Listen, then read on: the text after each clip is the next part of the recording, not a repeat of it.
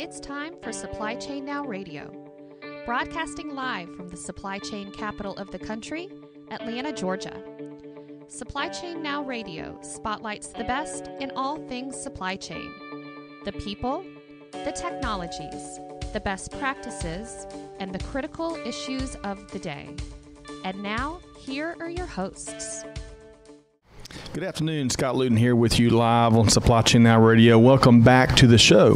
On a quick programming note, like all of our series on Supply Chain Now Radio, you can find our replays on a variety of channels Apple Podcasts, SoundCloud, Spotify, and wherever else you find your podcasts. As always, we'd love to have you subscribe so you don't miss anything. Supply Chain Now Radio is also brought to you by a variety of sponsors, including the Effective Syndicate, Talent Stream, Verusen, SupplyChainRealEstate.com, and several other leading organizations. Be sure to check out the show notes to learn more about our valuable sponsors. Okay, let's welcome in my esteemed co-host here today, uh, Greg White, Supply Chain Tech Thought Leader and Trusted Advisor. Greg, how you doing? Hey, I'm doing great. It's great to be back in Atlanta. It is feel. It, feel like we've been away from home for a long time. Well, you know, last Thursday and Friday, of course, we're in Charleston with the SAIAG SCAC whew, um, Supply Chain and, and Quality Conference. Yeah. And I want to say we walked away with probably 15 different sessions, different episodes, uh, Yeah. tackling all across the world of automotive supply chain. Yeah, we had some really good uh, interviews there. Right? Absolutely. I mean, it, it was really interesting to see what's going on in the automotive trade, and particularly in South Carolina. Yes. A lot of growth there. There sure is, and including, uh, not the least of which, uh, where Volvo put their first North American That's manufacturing site uh, Yes. that now has employing 1,500 folks and growing. Uh, but we got back in town, reassembled the, the studio here, and we're kicking things off with a great guest, uh, Sandeep Patel, managing partner of Veridian. Sandeep, how you doing? Doing great, guys. Thanks for having me. You Yeah. bet. We've been working hard to get you here. right? He stays. He stays busy. He's, He's making. a busy man. He's that's making for sup- sure. He's making supply chain transformation happen. That's right. So, um, Sandeep, great to have you on the show. Great to have you. I know, I know you spent about ten years here in Atlanta, so uh, in many many ways that earns you a native badge anyway. Yeah, so you know that's your way around and all. I think you had a great dinner in Midtown last night, uh, and it is really neat to have you on the show after a couple conversations we've had prior. So, for our audience, though, um, if you would tell us about your background, Sandeep. Sure thing. So uh, I was born and raised in Houston, Texas. Um, you know, as a child, I, I think I showed a lot of propensity early on for getting into what I call uh, problem-solving type of a discipline. Um, You I, broke your toys. I did. I did. Um, it's it's today something my parents still remind me of on a regular basis when I visit home is, is the amount of investments that they had to make into toys that uh, were, uh, were were essentially destroyed by me in, in an effort to try to figure out how they all worked. That's And awesome. I, I was always pretty quiet and uh, kind of shy and very uh, um, reflective as a child, and so naturally, the inquisitiveness that I think stems from that was something that uh, um, captured me from a pretty young age. And so uh, I, I had a really strong suspicion I was going to end up in an engineering discipline. Um, so uh, after uh, you know really exploring that in high school, went to the University of Texas at Austin. Um, spent most of my time focusing on electrical engineering. Um, did a lot of really interesting uh, work with physics as well, just as a interesting kind of hobby specialty of mine, just for fun. Physics is your hobby. Uh, at, at the time, it really was, and then uh, I, Wow. ironically, in the last few months, it's kind of resurfaced uh, a, a good bit. So it, it, it Very cool. yeah, it was it was it was interesting. You just you you, you learn about the you learn about the inner workings of the world that you don't maybe think about on a day to day basis, and I think it really helps to kind of influence uh, how you tackle and challenge problems on a day to day basis. Expands the mind too. Yeah, I would no think. doubt. Exactly. Yeah. Exactly. So uh, you like breaking stuff. you, you like understanding the laws of phili- physics. What else about uh, Sandeep Patel would our listeners would be interested in knowing? I think if you talk to the people that knew me best, they'd, they'd say I'd have uh, some some pretty intense passions like those two that are a little bit out of the norm. I'd say between work and and uh, just furthering my education. But Yeah. beyond that, I, I, I'm I'm really interested in movies, and I feel like the artistic side of things again really help to balance us in our professional lives. Yeah, that's good. Um, I'd say over the last decade, we saw a lot of specialization across all disciplines, and I think now we're actually seeing a little bit of a retreat away from that, where where people are realizing that our consciousnesses are all very complex tapestries, and it's not uh, it's not necessarily about just being great at one, being really great at one thing. The, the people Yeah. that diversify are the ones that tend to be the most successful in life, and I try to draw a lot of uh, a, a lot of parallels from that into what we do for a living. Wow. So you mentioned movies. I got to ask you. I knew you were going to go there. All of the intellectual stuff you just said, you're going to go straight to movies. That's where I was going to, by the way. Yeah, good, good, good. So tell us a, a top three list or just one of your favorite go-to movies that, that each time you watch it, you pick up something new.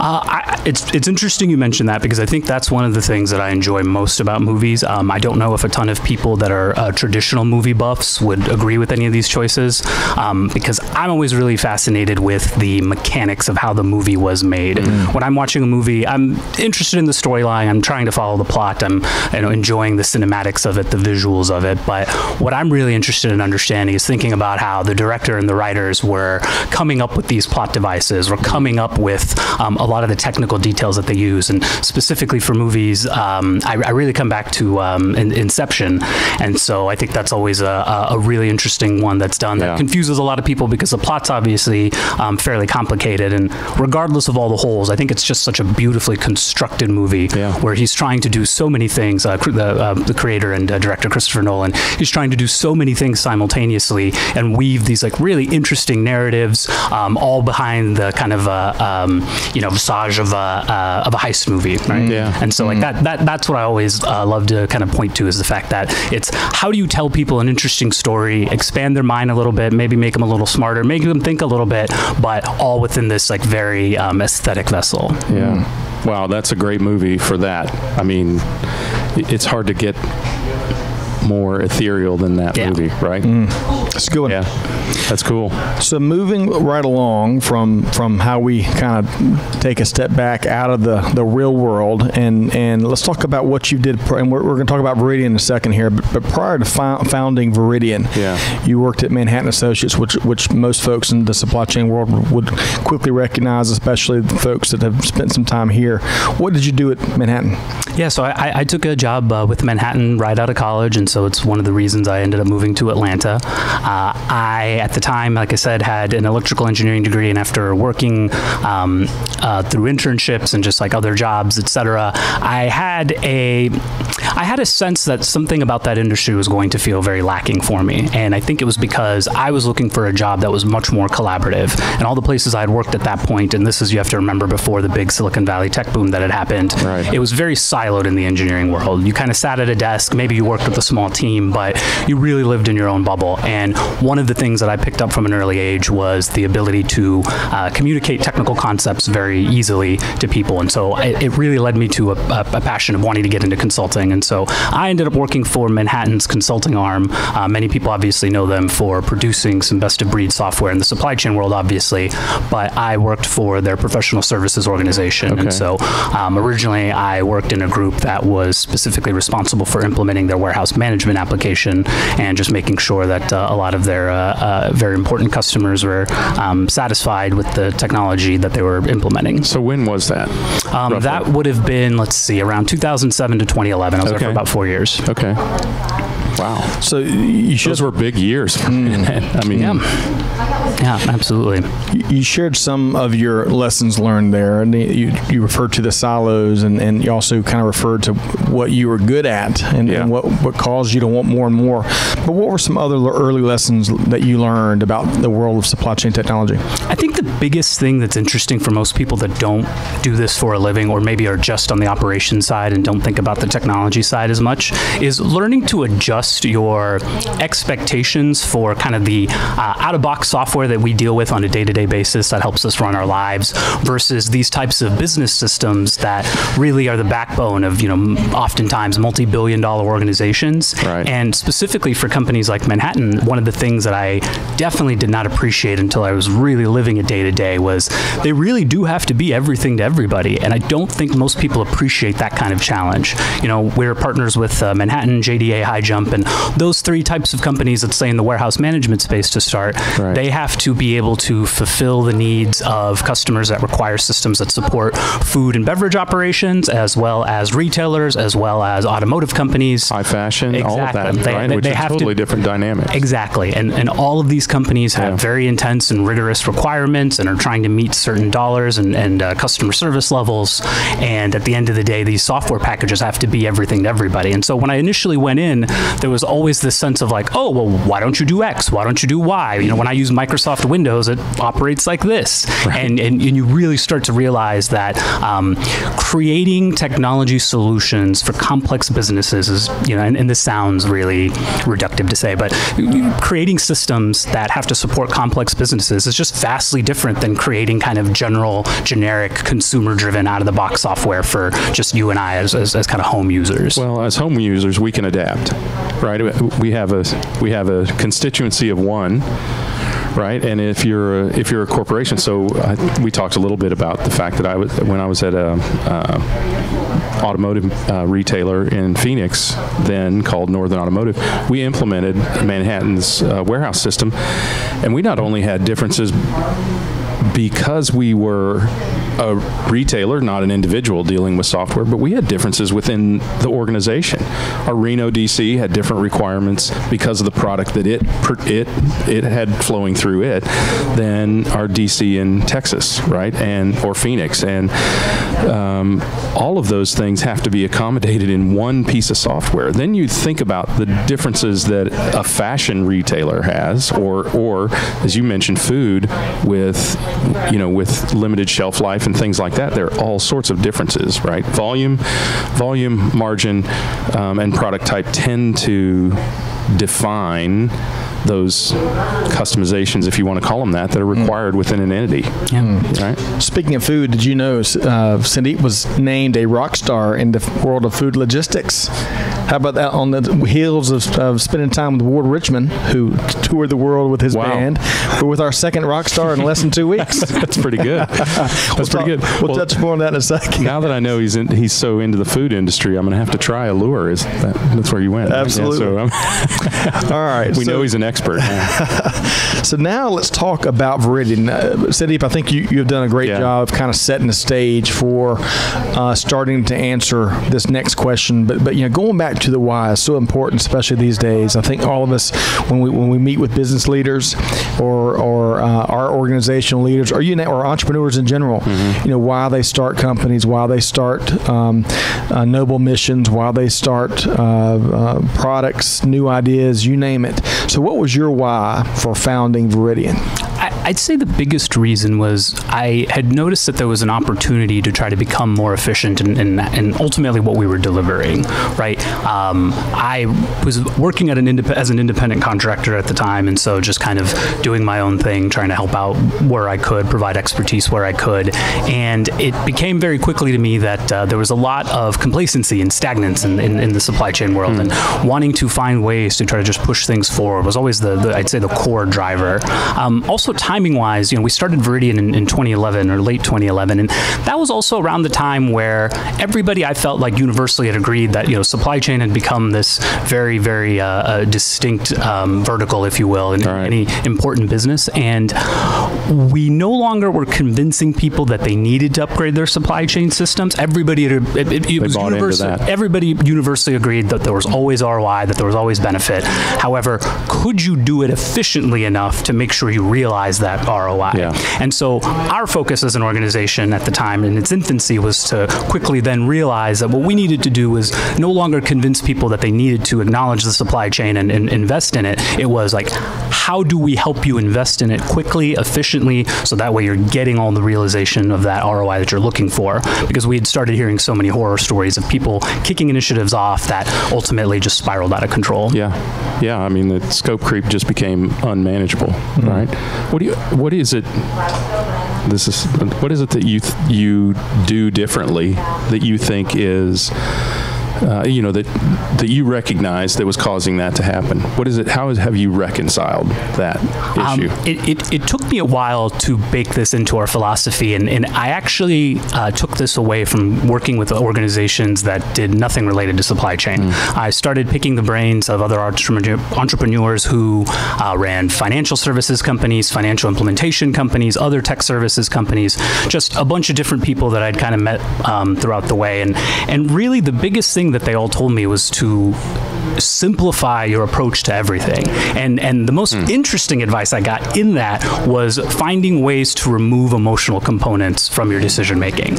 Um, I think what most people realize is that at a lot of at a lot of different organizations and companies, you are oftentimes with key decisions led to one person having to make that choice. Yep. And so making sure that my partner Jason Rosing and I, who I founded Veridian with, um, had a good back and forth and a series of checks and balances to make sure that we were never making um, impulsive decisions to either feed our egos or to convince people of things that were not necessarily in the company's best interest. And um, outside of that, I think one of the um, uh, real things that that has helped to inspire is like a very strong dedication for the truth. I think with really complex technology systems, it's easy to have a sense of complacency in understanding how they work and what that means. And so, what we always do, and, and one of the common sayings that we have in, in many of our uh, think tanks and, and group sessions we do together, is making sure that we're challenging each other to find those deeper answers. And so, always asking each other, you know, are we at the bottom yet? Mm. Have we figured out every detail of everything that transpires, or are we making implicit assumptions that we've not called out? And making sure to avoid those emotional decisions and implicit assumptions, I think are probably the two bedrocks of what's made us really successful. Yeah, mm. that's that's really important. I mean, to to take the emotion out of it and then to to see the solution all the way through. It's so natural when you think about trying to train somebody to do a job, right? If, if it's a job you've been doing for any period of time, you skip over 40% of the steps or more because they're ingrained in, into you, right?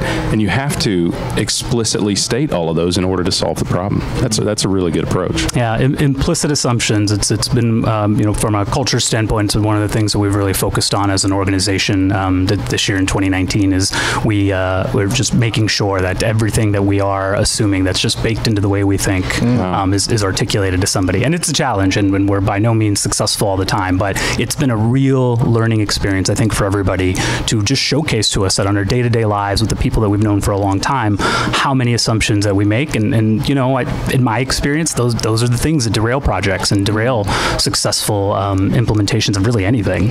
We, you know, you're you're fighting uh, the human element when, when it comes to tackling implicit assumptions because it, the challenge is so far beyond just supply chain, but it's who we are, right? It's so dangerous these assumptions we make on an hourly basis. Um, all right, so let, us continue down this line and then tell us a little, little bit more around what the Veridian organization provides. So, at the simplest of levels, what I tell people that don't work in the supply chain world is that we are supply chain problem solvers. So, anything from order capture and digital commerce uh, through the fulfillment lifecycle, warehousing, transportation, order management, um, oftentimes with the procurement and um, your manufacturing sides as well. We really just love solving problems with technology in the supply chain space. And so, our business is really divided into three major groups. We have a kind of design and advisory practice that really just focuses on high level supply chain transformation initiatives and walking executives through what we've seen be really effective and, and providing our guidance and, and solutions that we've implemented successfully in the past. We have a professional services arm, which is probably our biggest group, where we are the people that are boots on the ground doing the actual solutioning, um, you know, the real core of the problem solving at a very tactical level, helping people's dreams become realities, if you will. Um, and then we also have a product offering, which was originally built to help our consultants be more effective. That has now become kind of a third stream of our business as well, where we've focused a lot of time and energy into tools and utilities and now products that help to make the implementation process better. We, we once we realized that it wasn't a matter of convincing people that they needed to do these projects, that Right. we just needed to show them how to do it efficiently and quickly and save a lot of money doing it. Um, it, it became a really appetizing thing for many of our customers. Fantastic. you know it's it's uh, amazing to see how often you you create a product for your internal use that becomes valuable to to a, a greater whole right and i think that's something that I've seen happen so often that have actually turned into businesses for companies. So that's interesting that you were able to do that as yeah, well. and, and if you think about it, it makes a ton of sense, right? If, if, if you're somebody who's trying to create something, whether it's somebody like us who's just trying to have utilities to, to be better and faster, or let's say you're trying to develop the next new um, exciting app out in California, Right. whatever it may be, you, you realize that if, if you're building something that you yourself would would use, you're you're honoring a certain sense of yourself as a part of that, and uh, I I think that's really important because I think another reason that really um, that, that we do well is I think people know that we really believe in these products. Like I don't I don't uh, just go out and try to hawk our automate platform to, to people because it's a it's a revenue stream for us. I do it because I really believe in it. I, I Yeah. originally built it um, you know for ourselves, and so um, and then that's ultimately what made it popular too. So I, I, I think that goes a long way in being able to really support and stand behind something you genuinely believe in, and I think people pick up on that. Yeah, well, and one of the biggest hurdles to adopting technology is show me somebody who's been successful using it, and when it's you, that's a that's really a great story. Yeah. Right. I mean, I think that speaks volumes to be able to do that. Yeah. Congratulations. Absolutely, uh, very rewarding. All right, so so let, us shift gears here a sec, uh, here uh, with this next question. So, what do you believe, Sandeep, are some of the biggest gaps related to project to both project implementation and management in the business world today? Yeah, I've um, I, I run into a few fairly regularly. One that's really interesting to me is the fact that our technology solutions are still fairly siloed. If you think about the supply chain space, everything's still pretty segmented. You've got warehouse management systems, transportation systems, ordering systems, demand planning, procurement, et cetera, et cetera. The, the, it, and it continues to grow. And we've gotten better at communicating within these systems and, and sending information back and forth. And as technology continues to evolve, we'll, we'll, we'll do well. But the human element of that still doesn't really go away because these silos that we create still just naturally pose challenges structurally. Right. Um, the example that I love to give people a lot is if you think about transportation and warehousing, that is a really, really nice meeting point of two of these different silos. And if you think about the importance to your business, it's one of the really critical marriages in terms of being able, um, if, if you just think about shipping costs in general, like it's it's definitely a transportation heavy world, but the warehousing, how we box things, how we package them up, how we palletize them, how we have them ready for uh, the carrier that's going to pick them up, all of those components are very tightly integrated still, and we haven't really began to solve those problems in my mind from a technology standpoint. We're getting a lot closer and we're getting better, but that's one that I see that's, um, in my opinion, ignored really often. And so, from a project perspective, you have sometimes um, different product owners or different project teams that are implementing these two products, and it's um, it, it becomes a challenge because neither really goes into it with that right kind of mindset and mentality. And so, I think being able to level set with people across um, various businesses and business units like that to to learn to collaborate together on meeting overall company objectives, right? If, if you're looking to find ways to provide your customers, um, let's say Amazon style uh, shipping options so that Right. they're getting their products as fast as possible, that's not something that you can just say, hey, WMS team, go figure it out. Hey, transportation team, go figure it out. These are faster. Exactly. Right. It takes. like these are these are joint initiatives Yeah. that companies have to think about at an enterprise level and, and ultimately and, and this leads into my second piece which is creating the appropriate incentives for these people and teams to not only work together but embrace change Yep. the, the cultural impact of these projects is always so ignored in my mind in the sense that we have all these people that oftentimes we're thrusting change upon massive massive amounts of change which through you know millions of years of human existence we know that we generally don't love or at least not initially. And so being able to create the world where we have incentives for people to want to buy into this change want to buy into this progress and so that they're much more collaborators rather than resistors of it i think is is really critical. An example i'll give of that is um, Right, right quick before you share an example, is this something that I can use on my three kids at home? Em- Embracing change, is a, a different vibe, or something we can. honestly i think you'll Maybe notice that's the example. I think you'll notice a lot of the things I talk about, though. I, I'm I'm trying to draw from other aspects of my life, so that way they are applicable everywhere. And it, I think that's been the real key. Is that it's probably not that there is some secret sauce to supply chain, as much as it is that just like with anything else, you have to keep a sound mind. You know, draw from all of your life experiences and everything you know, and, and just make the best uh, Yeah. best decision for yourself for your org. And and the the example I was going to give was um, a few years ago, back when we really saw an uptick in everybody coming to us saying, "Hey, we, we really got to move uh, from a multi-channel approach to an omni-channel type of a world." And uh, the first thing I always uh, heard was, what, "What types of technologies, what order management system, what warehousing system do I need to get? How am I going to make this successful? And I said, omni-channel is more of a mindset than it is right. like a systemic thing that you're going to do or a structural thing you're going to do. And un- until you, at a corporate level, at a cultural level, can incentivize these organizations that have historically been pitted against each other to now start sharing and collaborating, you're going to have a very difficult time because the incentives just aren't there. Mm-hmm. I, I, think all human behavior is driven by incentives. We've seen that pretty, uh, pretty vividly over the course of human history. Right. And so um, I think from a project uh, management and implementation standpoint, incentives are another thing that are just very, very often overlooked mm-hmm. and uh, one of the big challenges to making these things successful. I think your ability, you, you, you were brought an emotional question right? How do we get from multi-channel to omni-channel? And there's a very fine line, like you said, maybe even just a perspective of what the real difference there is, and you have to manage that emotion at the start of a project, right? You have to get people thinking rationally rather than thinking in keywords and phrases and and get them to understand the bigger picture here uh, as you as you start to bring them into this kind of transition. Yeah, absolutely. If, uh, we, we, had a, an example that even comes to mind where we had uh, ultimately three vice presidents that oversaw the three channels of an organization that wanted to move to omni-channel. And what I think people forget about is, is the the human element of that. Yep. These are these are three individuals that had, had, had slaved away at their jobs to climb to uh, you know certain heights that I'm sure that they always really aspired to and wanted to.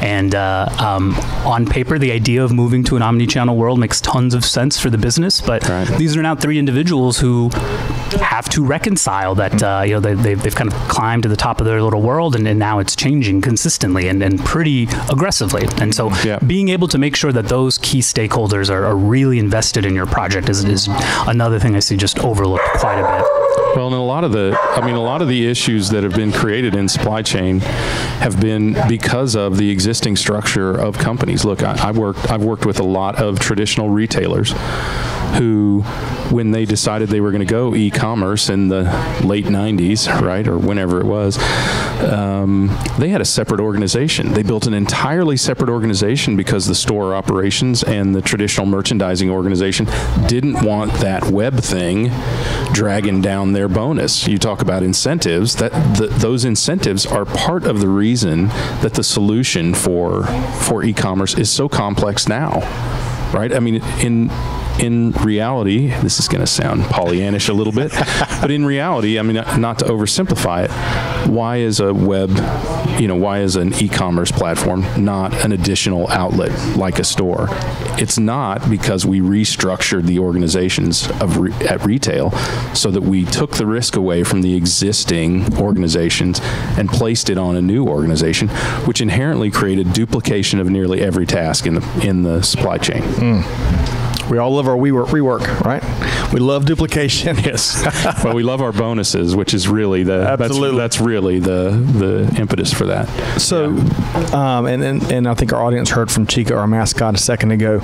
Um, so, let's talk about some of your other experiences. And, and she felt very strongly. Yeah. About about that transformation. Yeah.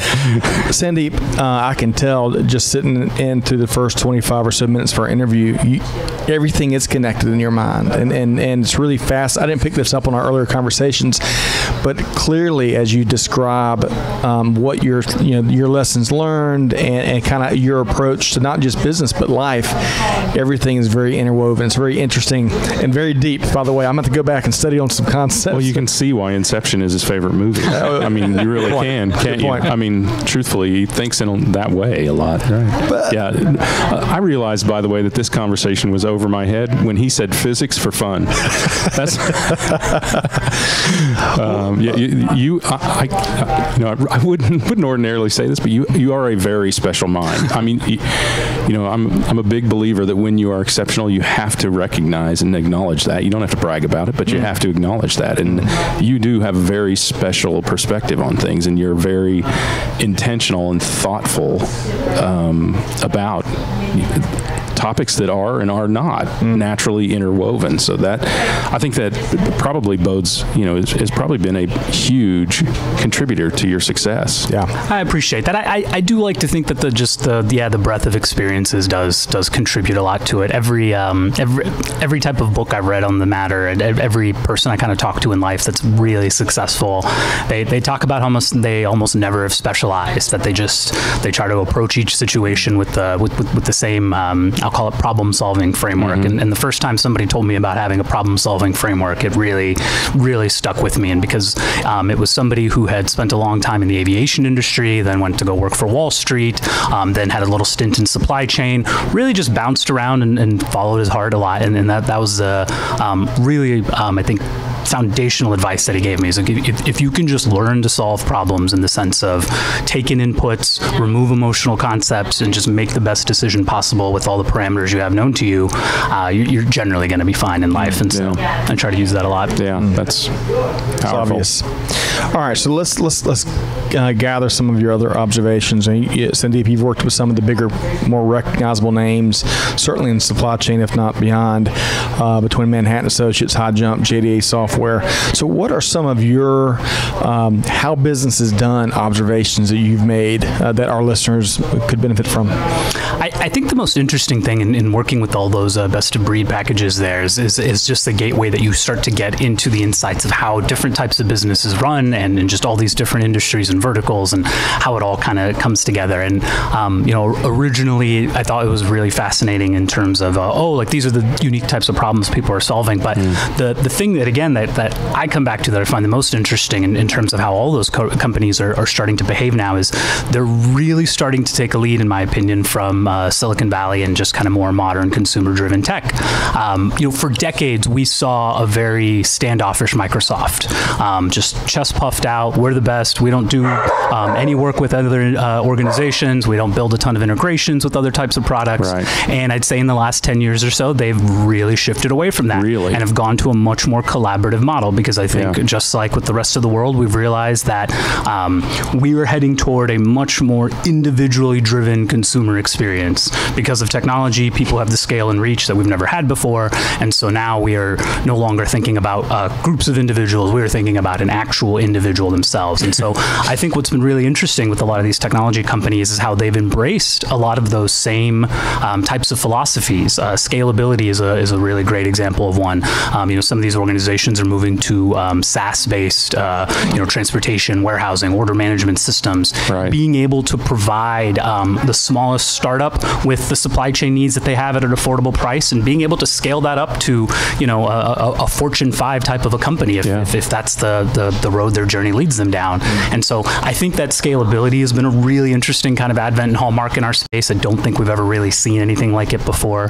Um, we, we, we've certainly worked with uh, a lot of smaller customers over the last decade or so that have told us things like, "Oh, well, we can't um, afford to purchase package X because it's it's typically for you know much larger industrial scale types of organizations." And I I think uh, that that's been one of the really uh, um, you know interesting movements forward. And, and in that same vein, I think we see a lot of uh, uh, focus on being nimble, right? No Uh, doubt. Technology is evolving continually faster and faster. So it's not only is it um, evolving at a faster rate, but it's accelerating at a faster rate now. And so being in that constant state of flux and change is really important. And I think a lot of um, you know, originally speaking, even as recently as 10 years ago, um, the, these software packages seemed a little bit bulkier, a little bit bigger, a little bit harder to to move, if you will. And and I think um, all of the organizations, even- you know, even, some of the ones in the ERP space like Oracle and SAP, everybody's moving to a, uh, trying to become more and more nimble because now that everybody knows the value of these systems, they also are incentivized to make sure that uh, it's quicker. And then lastly, I think the thing that's really cool is the openness of it. Just like I was kind of talking about with Microsoft and how uh, they're learning to partner more and more with other products outside their ecosystem. I think all these companies are learning to do the same. You know, we, we see a lot of conversation around warehouse execution systems and other types of communication that say you have, uh, you know, uh, JDA WMS and Manhattan's transportation system, learning how those two t- systems can talk to one another. Um, I, I- I think you're seeing people embrace partnerships more, realizing that the individual consumer, even though if you kind of transpose that to a business landscape, that individual business still wants to slice and dice their technology ecosystem however they choose. And so they want to choose partners and providers that allow them that flexibility and openness of being able to say, hey, we're going to use this module from this specific package and this other module from this other package because that's what meets our needs. Right. Mm. Right, and the technology exists today to enable that, right, with APIs. I mean, it used to be that one of the ways that people kept closed as opposed to open was they would hold their integration very close to the vest. They wouldn't, there were companies I recall when I was in, in the automotive trade they didn't even allow the customers to have access to the data. Um, and you know, I think of where those companies are now. Hopefully, they've gone straight to hell, which is where they deserve to be. Um, no, I think of where those companies are now, and they don't exist. Right? I mean, it is rare that anyone, including Apple, who in the '80s held their data and their their solutions very close to the vest, even they have have integration capabilities as well. Right? Mm. So they're it, it, it's necessary. It is personalization. So we had uh, Cindy Lago on um, a few weeks ago from uh, Capgemini, and she was talking about personalization uh, um, of the of the e-commerce or the retail environment. She called it uh, a batch of one. It's not dissimilar in that a B two B organization might want that same kind of consideration of their technology s- solutions, right? Yeah, I mean, long gone are the days of are you an IBM shop, are you an Oracle shop? This was yeah. kind of the question that was asked, you know, 15, 20 years ago right. in, in the technology space. Now people have realized that there are um, an abundance of options, and uh, they should uh, choose the ones that make the most sense for their organization. Pick yeah. and choose. Think of it uh, like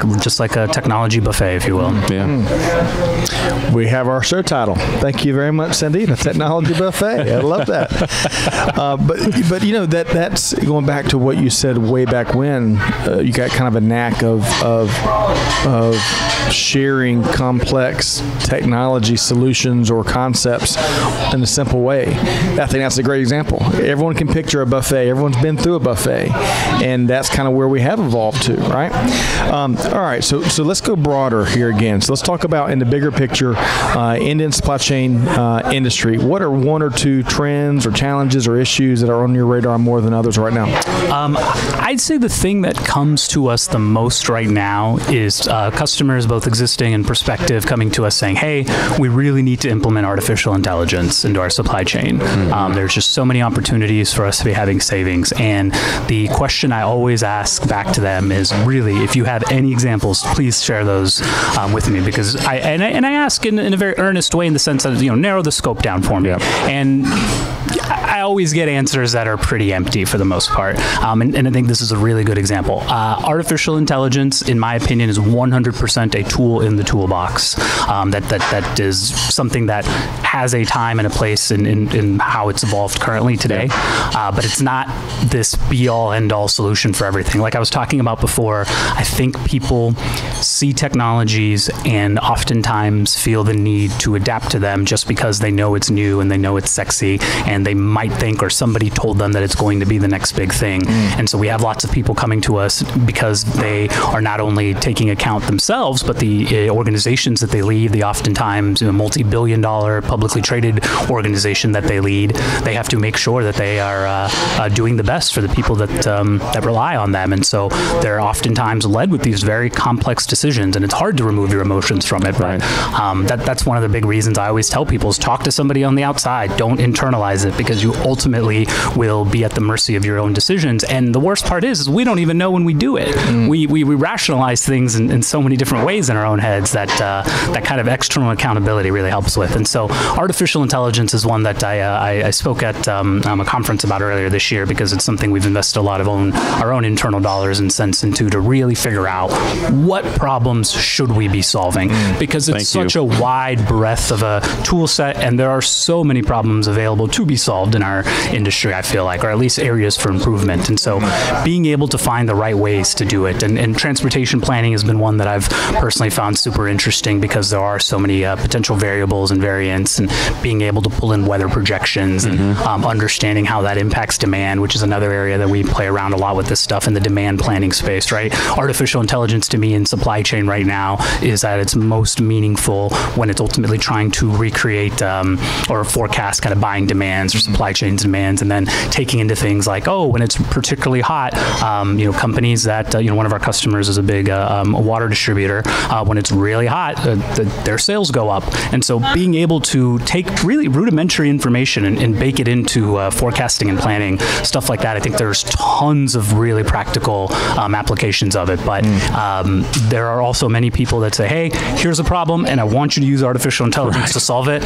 And we come back a lot of times and say like that, that we don't need to. Like there, there are there are simple, just you know, linear algebra solutions that can solve these problems. Like there, there are no um, human elements, there are no unknowns or variables that we're trying to quantify and simulate. Right. We know everything here. Intuit. Exactly. Right. Exactly. If you're, if you're, you know, if you if you wonder wh- whether you need uh, artificial intelligence. I was at a conference in uh, I think April, and Danny Lange, who has uh, Unity Interactive, so it's a they use AI for gaming, and he is arguably one of the the top minds in AI. He gave some examples of some things that aren't AI. Siri, for example, is not AI, right? That's linear programming. Um, and when you think about those problems that that don't require AI, you, you, realize that sometimes, and we're in that stage with this application, it's sometimes a solution looking for a problem. And Absolutely. like you, you get out of the emotion. You look for you you look for what is the goal, what is the solution that you know what what is it we're trying to accomplish, and then develop a solution that's appropriate for it. And maybe it's AI, and maybe it's not. Um, and we're narrowing in on that, and you know, and I think the the um, beauty of that is that AI has become so commoditized already, thanks to our friends at Google and, and AWS and Microsoft, that that you can try it versus linear programming in, in a fairly affordable way, and you can prove that this is a problem that doesn't require all of that learning. Yep. Right. Hmm. Um, Absolutely. yeah, it's good to hear somebody speak rationally about AI yeah, because and, and, it's I think that's the case for everything, not even just AI. Yes. Right. It's always just it, technology in general. It's tools in a toolbox. That's, yep. that's what I always try to tell people. And, and the better you're going to get at problem solving, you're just going to add more tools to that toolbox. Yeah. Yeah. Yeah. You don't want to you don't want to implement AI for a solution that you've ill conceived and watch it learn really really fast how to do things wrong. Well, it's, right? it's like a customer saying, "Hey, I want I want a great hole dug, but I want you to use this wrench." you wouldn't use. I mean, you know, the right tools at the right time, yeah. not leading with the tools first. You lead with the problem and, exactly. and, and uncover what the, the best solution may be. I like that.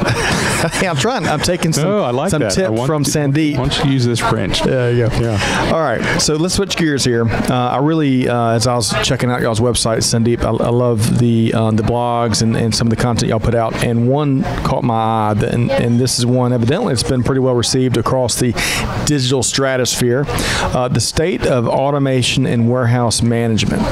Uh, so tell us, what were your top three key takeaways from this white paper? I think the most interesting thing, and, I, I suspect it had something to do with some of its popularity, is, is the kind of raw numbers it presents on people in the next two years, what they're planning to do with their supply chain technology investments. Mm-hmm. Obviously, for a company like ours that focuses on transformation projects, that's pretty pertinent and interesting data.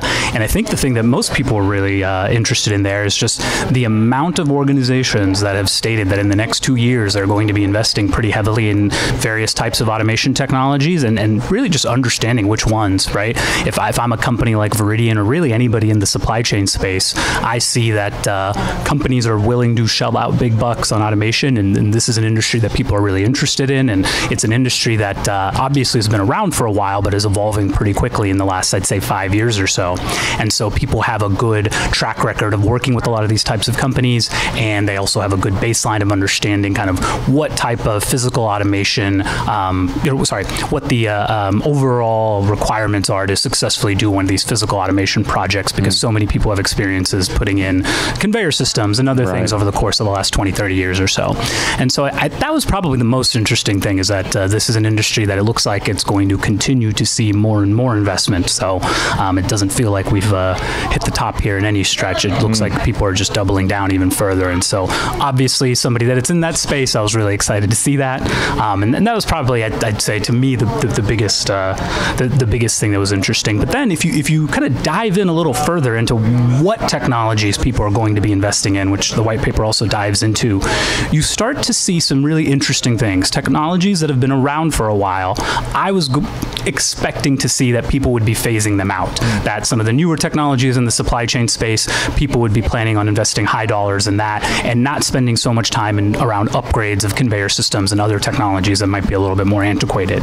But what we ended up finding is that not only do people want to spend high dollars in the new technologies, they are also really happy and content with their current technology set so much so that they're going to be upgrading those. And so I, I like to think of it as really layering on your supply chain tech and, and automation. And that's what I really love to see is that it's not necessarily an ecosystem of just kind of rebirth and death where um, you know companies are just kind of coming and going because they have an idea, it's really good, that idea is no longer relevant in today's time and it dies off. What we're seeing in supply chain is the technology is getting better, but the existing technologies are also in and of themselves improving. And I always just really enjoy that because when I first tried to explain to my parents what supply chain was, they were really confused. Like And so- everyone. right? And Yeah, so yeah. any industry where I, you know, I, I, I Yeah. see a, an upward trend, I'm, I'm always uh, pretty uh, pretty excited by. And then I think the last thing is probably at the at the most minute level. There is specifically, I, uh, one of the things I was really interested in seeing is that I think 57 percent of the uh, uh, people surveyed there talked about how they were going to be investing in picking automation um, in the next two years, which is a pretty uh, significant number there. And it, and it coincides with the smell test. What we see a lot is customers coming to us today talking about what I would consider a warehouse execution system or you know some type of picking automation system. Yeah. And uh, again, for for those who are currently either building or have those types of warehouse execution systems, again, it continues to look very promising for that industry. So I think those are the most interesting things that I found is um, the types of uh, uh, dollars people were investing and in what magnitude is also where. Picking is a great example of moving towards automation because you know there was such an enormous level of error in that when it was fully human operated. Then we have uh, voice picking and visual picking and you know Google Glass picking. Even even though many of those were just experiments, some of them actually got implemented, and you could see them working towards solving the problem with with some level of automation. Look and look, automation is you know, I think it's been sort of a four letter word for a long time, but the truth is 10,000 people are leaving the job force every single day, right? And that's going to continue probably up to or through 2030 um, as the ba- baby boomers leave the workforce. And there aren't enough in the next couple generations to replace them. So, automation is not going to take people's jobs. It's going to layer on, enhance uh, people's jobs, and it's going to do the jobs, much like AI is doing today. It's going to do the jobs that aren't ideally fit for humans, right? I mean, it's the mundane, it's the repetitive, it's the dangerous sometimes that uh, that needs to be done, and we would love to protect human beings from having to do those things and make their job experience much more satisfying. So, I, I think it's a you know it's a natural progression, and um, you know historically I've I've studied it anecdotally, but historically you see it accrue to the benefit of humans and allowing us to use our greater gifts more effectively. Mm. Mm. Well put. Well put. Okay, and, and, and to our listeners, you can check out uh, all of the blog articles and white papers on the Veridian.info website. Um, all right, so we're big fans of trade shows. We love getting out and and, and, and we're doing a lot of this, right? There, th- of course, what Yeah. we do at Splash Now Radio is creating digital content. It's kind of tough to create digital content if you don't sit down and talk with people, you know. So we love getting out to trade shows and industry conferences like we did last week, and and talking with folks that that rep- that come from a wide variety of walks of life that are solving a wide variety of problems that are facing uh, the end-to-end supply chain industry. Um, so what? Uh, on, on the Veridian calendar, any big trade shows coming up the rest of the year? Um, I don't want to say too many for the rest of the year. Our, our big trade show season's typically in spring, but uh, uh, and, and the ones that we really love to go to are, you know, with our obviously with our partners, JDA, HighJump, Manhattan. Um, but one, one of the ones we went to earlier this year is our first time attending was Shop Talk, uh, which I think is now in like its third or fourth year, and uh, it, it, it was a really interesting uh, trade show for us in the sense that I've never really seen that much invested into a purely, um, it's not purely purely a supply chain, but obviously there's a large, very large supply chain component to it. Mm-hmm. And just seeing the resources and the turnout and just the overall production of, of how that trade show goes. And, and the thing that I love the most is they philosophically have, have really captured something that I love. And, and their entire model, if you look at how they incentivize people to come to their trade show, why people would want to come, why um, uh, you know certain customers in the sense that they are looking for supply chain needs, and so if you're like a brick and mortar retailer or, or a digital commerce provider, you have certain incentives to show. Um, if you're a kind of technology services company that's in the space like ours, um, they give us varying incentives to want to show up. Hmm. And, and the thing that I love about it the most is that all those incentives really involve around just like the same thing you were talking about, connecting people and being able to have conversations. And for a show of that size, I really, really appreciated how much time and effort they put into being able to have something that's so massive, but still make it feel quaint enough that the right types of people are able to connect with each other. Mm. And I think that's one of the things that I really love about that one. Mm. Good one. Shop talk. Um, and what about um, uh, keynotes. I mean, you're out. I, I gathered you're out speaking quite a bit, whether it's trade shows, whether it's uh, you know tr- uh, industry association meetings, or whether it's hosting uh, tweet chats or what have you. It seems like you enjoy getting out there and, and really sharing the, the, passion behind what you're doing at Veridian. I, I do. I uh, to be really candid, for a long time, I just didn't know if people wanted to hear about you know my personal philosophies and how they impact supply chain. And so, mm. for the longest time, I kept it pretty uh, confined to Veridian. And honestly, um, even in the early years, I don't know if I shared too much internally with the team. It's just kind of some of the things that I personally felt as I was still really trying to find my own way as a, as a business owner. And so, um, with with a lot of the positive feedback internally, and, and you know some some recommendations for other folks. So yeah, I'd say in the last couple years, I've, I've certainly gotten out there more and, and just tried to spread our, our message and kind of how we think. It, it's certainly not for everybody, but I do think that a lot of people um, could, could, could stand to benefit from some of these uh, ideas, and so I, I, do feel proud to push them out there. Well, I, I, can I can tell you that they want to hear your opinion. Mm. I mean, that's why we have a business is that they want to hear from you, and and in, and even more, they want to hear your growth along that journey as well. I, I think a lot of people really enjoy t- you know, talking with people like Sandeep and and understanding where he is today, understanding that he's an intelligent guy and that he's going to get to somewhere else later. I'm talking about him like he's not here, uh, um, but they want you know they want to know where you are now and they want to know where you're going and they want to be on that journey with you um, because you just might be going the direction that they want to go. So it, I think it's a it's a really valuable vehicle, right? I mean, this it, we've made a business out of it. Agreed. Agreed. Yeah, it, and same thing, right? It's it's you, your business is predicated on ideas and connections yeah. and, and, talking to people, and, and and that's the thing that I always try to tell everybody is that it, it's it's so complicated to be alive as a human now. Um, the, the the interconnectivity, the amount of information we have to consume, the stimuli that we deal with on a day to day basis. Mm. It is it is just it is very hard time to just just exist and function. And, and so just finding ways to simplify life. And like I, I, I really focus on that. I just always come back to what's the idea? Mm, yeah. what, what is the thought? Like mm. let's let's strip everything away. And if we focus on that, uh, we have a little bit of a beacon to guide us. I think in a way it's a good the the, the, as, the aspects of social media, if you will. There are certain aspects of, of media generally that allow you to latch on to somebody really talented like you and go, I may never meet you, Sandeep, but I really like the way you think. And we can collaborate, right? We can share ideas without ever meeting. In the past, you're kind of stuck in your hole in your office, and, and you might never meet any, anybody outside your four walls mm. that could that could enlighten you, right? Or you could share ideas with.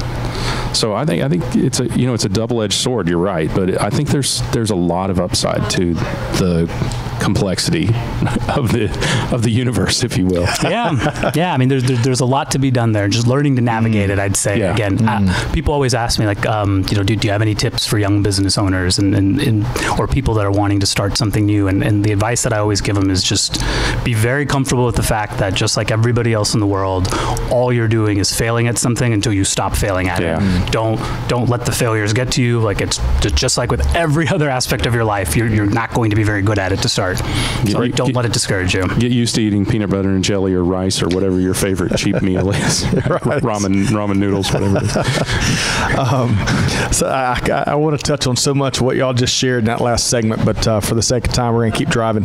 Um, so Sandeep, where can folks learn more, reach out to you, and, and connect with the Veridian team? Yeah, absolutely. The easiest place is our website. It's veridian.info. Um, and uh, we've, we've got some social media accounts with the same name, Veridian Info, on Twitter and Instagram, et cetera. So you can always just see what we're up to there. The blogs and white papers, like you said earlier, are also on the website as well. Um, and, and, and those are a really good slice into some of the um, ideas and feelings and just the overall thoughts that we, you know, we, we try to put out there on a consistent basis. And so once we've, uh, now that we've seen that there is a, a, um, some really strong appetite for, again, not necessarily action, but at least for ideas, we, we felt very compelled to try to do our best to, you know, take on initiatives like this and, and get our message out there and, and, you know, share ideas with you gentlemen as well as put some, put some content out there on the site as well.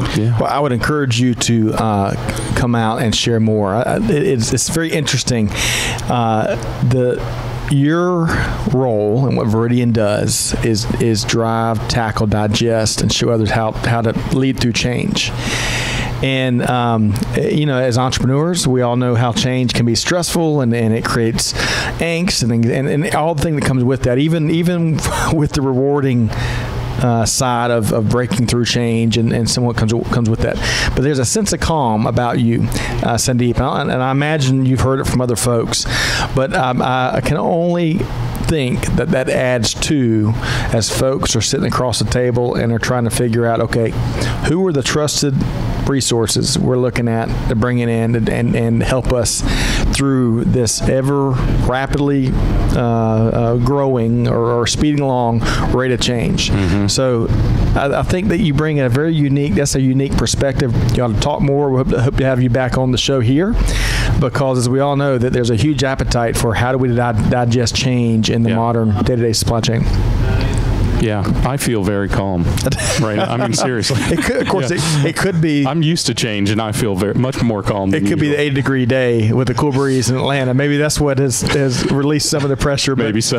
but I, I really, uh, Sandeep, I really have enjoyed uh, your time here today. We've been speaking with Sandeep Patel, managing partner with Veridian. Thanks so much for your time. Ah, thank you guys for and, having uh, being here. And we look forward to having you back. Thank you. You bet. And to our listeners, again, you can learn more at veridian.info, right? Uh, for a wide variety of content. Also, get to know the team there at Veridian.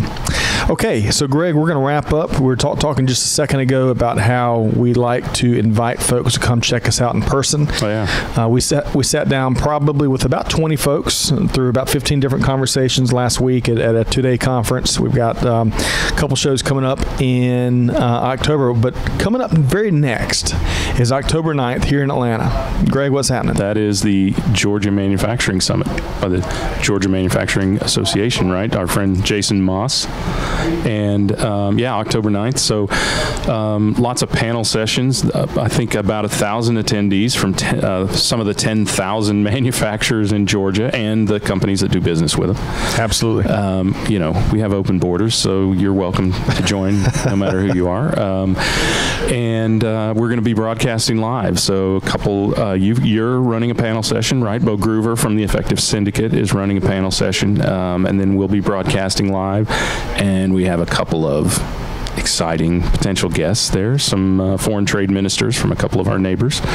So, um, yeah, it's going to be an interesting, an interesting show. Big day. Big Yeah. day. If, if you love the manufacturing space, as Greg mentioned, it's come one, come all. It, it, it's, it's one of my favorite events of the year. You can go to georgiamanufacturingalliance.com and join or sign up uh, while registration is still open. And if you're a veteran and you're interested in a free seat, Jason Moss and GMA are giving up 50 free tickets for veterans. So you're listening to this show and you're interested in attending, you can use the code USA Vets uh, f- to sign up for a free seat.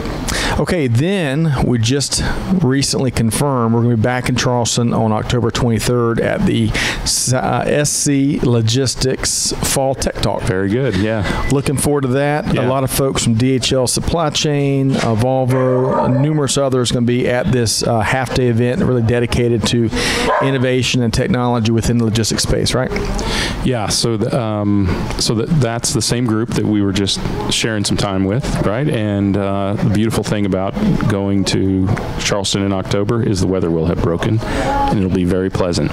And this time, I think I've already mentioned this. This time we are definitely going to Magnolias for dinner. That's right. Right, we're not missing it. So there's a couple different ways to learn about the event. You can go to sccompetes.org or you can look up the SC Logistics 2019 Fall Tech Talk on Eventbrite. Yep. Again, registration's open. That's Wednesday, October 23rd from 12 noon to 5 p.m. And then we're traveling to Austin, Texas with e- our friends at EFT. Yeah, the CIO Logistics Forum. So uh, yeah, so Nick and the gang at uh, EFT putting on an event for about 300, and, and I think you were mentioning these kind of events, about 300 tech execs and people who want to rub elbows with them and share ideas and solutions with these folks. Um, and uh, that's the 7th and 8th November. Yes. We're going to keep Austin weird. And we're only going to be tweeting each other at the conference. That's how we're all going to talk during lunch. I don't know if you did. Did you Is know that right? was in? It's Yeah. all nothing No. but tweets allowed. Okay. Tweets and uh, Instagrams. oh, is that right? Yeah. Oh, my. Okay. I'm going to have to get my camera fixed on my phone. So you can learn more at EFT.com or you can check out the event on our events tab at supplychainradio.com to learn more. We're looking forward to broadcasting live there Yeah. two days in Austin. Uh, then, of course, the calendar flips. While we're working on a couple other events, uh, we are confirmed to be at the Reverse Logistics Association Conference and Expo out in Vegas in February 2020. Uh, love our friends at RLA. Talk about a, a hot. Uh, sector of the Indian supply chain, No reverse doubt. logistics and returns. Gosh, if you are if you don't have your strategy uh, figured out there, which you know a lot of companies don't. The RLA has done so much work just to pro- uh, proliferate out best practices. Yeah. Um, so it's been really neat to be a part there, um, and. In March 2020, Modex, of course, will be back here in Atlanta, Right. and we're going to be broadcasting live all four days. Us and 35,000 of our closest friends, right? at one of the largest supply chain trade shows in North America. And Modex will also be hosting our 2020 Atlanta Supply Chain Awards, which we're excited about. It is free to attend Modex. So you can go to modexshow.com and you can sign up for your free ticket and come out and, and uh, network and learn a wide variety of best practices all across the supply chain spectrum. And Oh, is there, You wanna is go or you more? want to- Please go ahead. yeah, the Atlanta Supply Chain Awards, the Oh. second day, March 10th. That's right, March 10th. Yep. So, um, yeah. So enjoy um, seeing what's going on in the Atlanta supply chain in, uh, ecosystem, and you know, give out some awards for, to some of our top performers. I thought you were going to announce our big keynote speaker, which we, we're, we're really close. Yeah. We've, we've gone in a couple of different directions here, Yeah. but we're really close to announcing uh, a, a C level of a very large. No, I would. Ne- I would never do that. I would let you do that. never step But- out of bounds. That's not me. But present company included, we have really enjoyed our time with Yeah. Sandeep Patel, managing partner of Veridian. Thanks again for joining us, sir. Uh, be sure to our audience, be sure to check out other upcoming events, replays of our interviews, other resources at supplychainnowradio.com. You can find us on Apple Podcasts, SoundCloud, Spotify, YouTube, all the leading sites where podcasts can be found. Be sure to subscribe so you don't miss anything. And so Greg does not break my arm. On behalf of the entire Supply Chain Now Radio team, this is Scott Luton wishing you a wonderful week ahead, and we will see you next time on Supply Chain Now Radio. Thanks, everybody.